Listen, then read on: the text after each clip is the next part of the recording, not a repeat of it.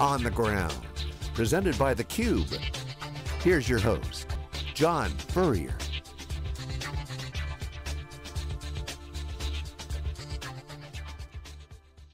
Hello everyone, I'm John Furrier with theCUBE. We are on the ground here in Seattle, Washington for IBM's Open Cloud Architecture Summit. I'm here with Angel Diaz, who's the Vice President of Cloud Technology and Architecture at IBM. Great to see you. Great to see you. So we just had DockerCon for the past couple days, Yes. total Docker madness, but really that's the architectural play for the cloud. You guys are having a separate event here. Yes. Talk about your Open Cloud Architecture Summit. What's, Sure. what it all about? What's it all about? Sure, look, you know, this is the fourth year where we've had this event. We do them in different cities, uh, maybe four or five times a year, right? We're doing them here in Seattle, coinciding with DockerCon.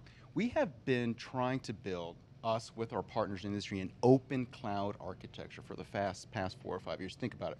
Open hardware, something like open power, open compute storage network with OpenStack, an open programming model for building applications quickly. People call that platform as a service. Cloud Foundry, containers, Docker. Open event-driven architectures with OpenWhisk, and then open APIs with things like the Open API initiative. This has been something we've been doing systematically uh, for quite some time, and what's exciting about this event is that we bring together clients, okay, our clients, the people who are trying to implement this stuff, use this stuff, along with our leaders in open source and the actual open source leaders and industry luminaries. And we have great conversations, great debates, uh, and great feedback that help us steer this in the right direction. So I got to ask the question about uh, what you guys have been doing. Obviously, we've been following Bluemix. Whisk was a great announcement at Inter, um, IBM Interconnect, fantastic. Um, Compose.io, all these kind of tools happening. But Bluemix has been accelerating very fast. So you guys have been pedaling as fast as you can on the Bluemix side, yet the market, as we saw at DockerCon, is exploding with developers. How are you guys balancing that? Because that's the question that everyone's asking is, okay, there's a moving train in the market requirements, yet you guys are building the technology really, really fast with Bluemix. What's the update? What's the current status Yeah, of the so cloud? look- and how do customers reacting to know, that? we are entering what I think of as Cloud 2.0, right? Everybody needs compute, storage, and network. We do that. OpenStack APIs provide that. We've got our, our data centers across the world, 46, 48 data centers across the world. You can access this anywhere, any geography. Bare metal or virtual machines, great. But now we're moving into time to value, speed. Speed is the currency. Whether you're building containers and building out microservices, whether you need to build systems of engagement applications using Cloud Foundry, or compose all these things in an event-driven architecture where you can really start to bring together services and build almost industry-specific clouds. That's where we're headed, right? So the open source piece is a very interesting dynamic. We were just talking on the cube at DockerCon about the dynamic of the playbook of success. You get stuff out there, you grow, you build an ecosystem, um, some, some proprietary or some unique advantage that suppliers would have for customers. But that's the old way, and we were kind of saying, oh, Docker's got the playbook from VMware or other successful trajectories, if you will.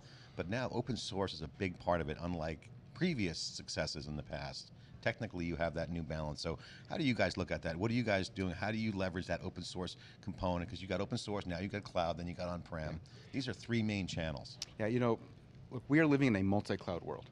Uh, our objective is hybrid cloud, to make all clouds behave as one.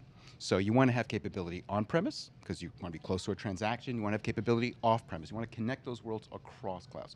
The only way to do that is with choice, with consistency.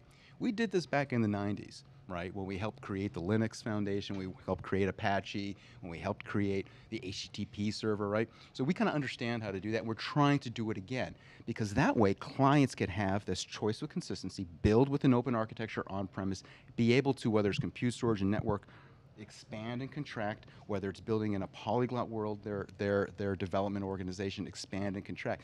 That has been our strategy, that's what we're doing. And, and it seems to be working because you, know, you come to these events, you know, look, if you look back, you know, we had a press release with Docker eh, two and a half years ago where we're going to be working the open together and create an open community. And now you've got 3,000 people here at this event. I was talking with Marianna Tessel, who's now running alliances and strategy for Docker. She was VP of engineering. There's more of a technical role now on the alliances because of the deeper integration requirement with Docker. And certainly Docker has their own agenda, how they think the world should be. But you guys have a lot of clients that have been running compute and been doing computing for years and generations. How are your customers looking at the Docker world and how does that fit into the real world scenarios that you guys are building with customers? Because that's the question I get. How do I make sense of this Docker ecosystem? I just want to get stuff applications out there fast, and I want it on the cloud. What's the what's the IBM customer reaction to the Docker madness? What, what, what clients are asking is they're asking for an open cloud architecture, and there are centers of gravity. Okay, which is the good news, right? There's lots of open source out there, but there's open governance around centers of gravity. OpenStack for compute, storage, and network. From that, you can build out a container layer reusing those elements. That's what we do in our cloud with Bluemix. We've got over 20,000 new developers a week joining up on Bluemix, right? Then you look at Cloud Foundry, you look at Whisk, and you look at the APIs. Those are the centers of gravity. No matter where you start, if you want to use containers to help with your CI/CD pipeline, you're you know building out your applications and then moving into a, a microservices world, we can do that, and then you expand down to other layers. If you do that, if you follow that architecture, you will be able to have choice of consistency. You'll be able to do it in a multi-cloud environment, and on-premise or off-premise, which is kind of the reality. Does Docker change the architectural equation in that open model, or does that accelerate the value to the customers? It, it, it accelerates value. Look, you know, we stood up two organizations last year. Uh, the Open Container Initiative to deal with runC and some of the lower level things, and the Cloud Native Computing Foundation. Docker's part of both of that. Cloud Foundry is part of that. Right? All of these constellations are working together so that we reuse the right elements of the architecture, and Docker's playing a big role in that, and as well as lots of other people's. Uh, I love the open source political theater that goes on because there's a little jockeying, co-opetition in some cases, but for the most part, open is open always wins, and we've seen that success. You mentioned Linux and what IBM had experience in Linux, and at that time, that was a coalescing moment around Linux. People in the industry kind of pulled around Linux, and that was a forcing function for stability, but also growth. And that, that the rest is history is well documented. What is that moment now? Is it Docker? What is that center that people yeah. are coalescing around? Is it microservices? Is it, it Docker? It, what, is, what are, is that moment? There are several centers of gravity. So there's been a lot of terraforming going on, right? You think of this as stardust, and then the stardust comes together and it terraforms, right? Um, first one was OpenStack. If you think in those days, right? I mean, this was pre-foundation, pre-anyone, you know. Yeah. I walked in, had a conversation with buddies in Rackspace. We decided to join up, got a couple other people together. Six of us launched the OpenStack Foundation. I came back from Austin, 9,000 people at the OpenStack Summit, right? Uh, Cloud Foundry, we just had the summit there, upwards of 3,000 plus at the Cloud Foundry Summit, right? Here you are at DockerCon, right? F three, 4,000 people. Uh, those are the centers of gravity. Cloud Native Computing Foundation. At OSCON, I stood up on stage with my buddies from Google and we announced, the, and, and Jim Zemlin, and we announced to the world the cloud native computing. Those are the coalescings that are happening around this architecture. It's multiple pieces, right? It's yeah. multiple pieces, uh, but these pieces are working well. Are they together. unified or is this fragmented? How do you see that all kind of Oh, I, it is. It is again. That's why we're here. An open cloud architecture. It is all elements of a programming model that we're creating from the hardware. Don't forget open power all the way up. Open power's been a big success for IBM. Oh, it's it's been well, for the industry. I yeah. mean, we've got Rackspace, Google, everyone involved in that, all the way up to how you expose things through an API, through Swagger, using the Open API initiative, to where we're headed with event-driven architecture and these industry clouds, right? So I gotta, I gotta, so I got to ask you. You know, a lot of people will. So the naysayers, oh, are, well, this, all this, all this opens foundations and this, that, computing foundations. They're all kind of like just marketing programs for the vendors, and it's just they never ever be doing. That's a historical view. Some say that.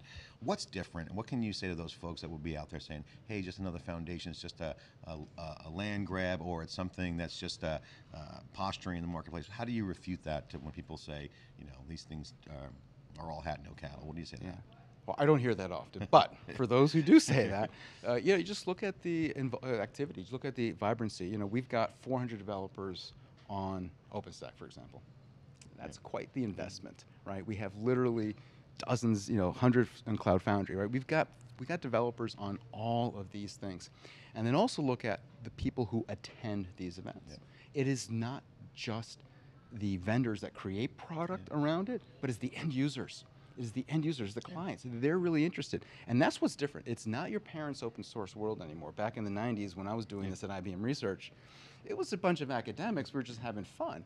Now it's like, nope, we're having fun, but we're having fun with the end user. It's interesting. I mean, the perspective. I mean, I don't hear very often, but it's mostly from the old data center guys that have lived through the client server, and they saw a lot of, you know, kind of proprietary stuff going on. That that's gone. And my, my answer to that is, you know, we saw with OpenStack, you vote with the code And that Yeah. ultimately is the, is the key performance metric. So Open governance, meritocracy. Those are the keys to a good foundation and a good ecosystem. If you can get good code and you get good users, the scoreboard doesn't lie with code. Yeah, Right. So okay, right. with that, final question. What did you learn from OpenStack and what did the industry learn from OpenStack and some of the early formational stuff that now a great seems question. to be hitting That's a a stride?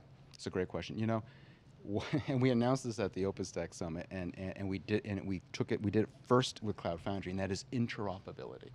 Interoperability is key. So what we're doing with RefStack, for example, and the challenge that we laid at the OpenStack Summit, and what we're going to show in Barcelona, interoperability, interoperability around containers, interoperability around Cloud Foundry, because that is necessary, not just between our own product sets, right? Whether it's on-premise or off-premise, but across the vendor landscape.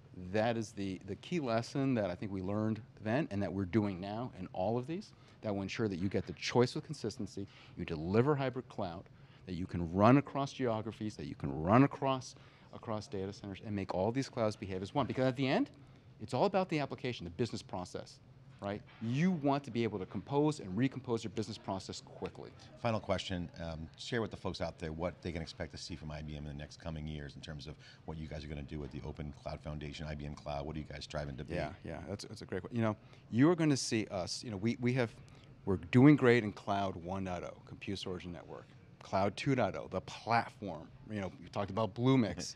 I mean, you know, it is so exciting to see the eyes of the developer light up where they can not have to worry about the infrastructure, build out an application, and start being productive. 20,000 new developers a week. Now we're talking about uh, uh, industry-specific clouds, where we take all of the services that we provide, our cognitive services, our, our weather data, our partnerships with Apple and Twitter, and all the open source, we bring that together in a way that is semantically more relevant to the applications you're building. You start doing that, you go to Cloud 3.0, which is time to value. Yeah. And, and you know, back in the days of the web, when we started that, I could not imagine, we did not fathom the world that we live in now.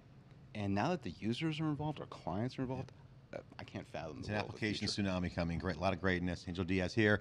We are here on the ground in Seattle for the IBM's Open Computing Architecture Summit. I'm John Furrier, you're watching theCUBE on the ground.